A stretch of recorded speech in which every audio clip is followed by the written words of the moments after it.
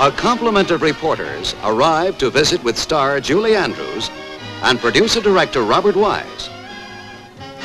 They are on location in the Austrian Alps to film the Rodgers and Hammerstein musical, The Sound of Music.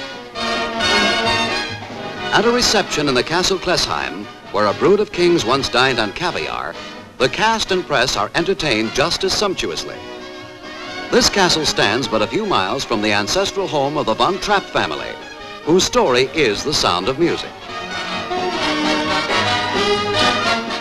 The stars assembled here by Mr. Wise are known to audiences throughout the world.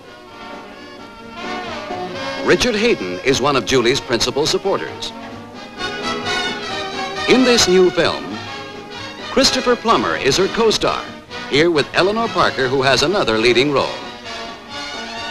Producer Wise has come to Austria to film against the authentic background of the Tyrolean Alps and tell the intriguing and melodious tale of a family of titled Austrian minstrels whose fame first echoed in these mountains.